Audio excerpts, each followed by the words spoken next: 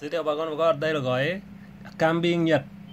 Gói này là phân bón lá chung và vi lượng. Các thành phần của nó gồm có canxi, magie, lưu huỳnh, đồng, sắt, kẽm, bo, mangan Một gói này là 40g Gói 40g này thì à, bà con pha với 200 lít nước.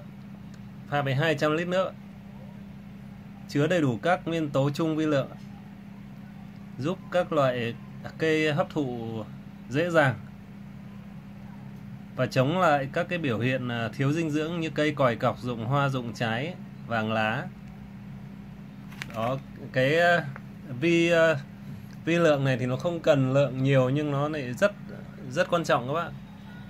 30.000 một gói 30.000 một gói dùng cho mọi loại mọi loại cây, rau màu, cây cảnh, bonsai, lan.